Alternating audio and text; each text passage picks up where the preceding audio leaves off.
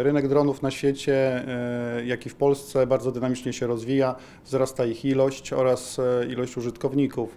E, W tej chwili drony to głównie drony używane do celów rekreacyjnych, ale zdarzają się także sytuacje, gdzie drony wykorzystywane są komercyjnie do kręcenia wielkich imprez sportowych, do oceny szkód. Latając takim dronem w miejscach e, zaludnionych, e, w miejscach, gdzie są zaparkowane samochody, bądź też blisko zabudowań, bardzo łatwo o e, jakąś szkodę, którą użytkownik drona może nieświadomie, przypadkowo wyrządzić na mieniu, bądź też nawet na ciele przypadkowej osoby. Obowiązkowe ubezpieczenie dronów obowiązuje tylko drony powyżej e, 5 kg, a większość dronów użytkowanych przez zwykłych konsumentów, dronów rekreacyjnych, e, niestety nie wpada w ten, e, w ten próg e, powyżej 5 kg, e, co też e, e, wpływa na, e, na to, iż większość dronów latających i obecnie użytkowanych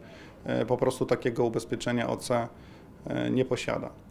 Ubezpieczenie OC, które jest w tej chwili wymagane przez prawo, jest to ubezpieczenie na dość niewielką sumę ubezpieczenia, sumę gwarancyjną, która e, w zasadzie nie przekracza 15-20 tysięcy złotych obecnie. Drony wykorzystywane do celów e, rekreacyjnych e, można ubezpieczyć w miejscu zakupów takiego drona z sumą ubezpieczenia do wysokości e, tak naprawdę ceny zakupu takiego drona. Czyli jeśli dron kosztuje 5 tysięcy złotych, to suma ubezpieczenia będzie równa 5 tysięcy złotych.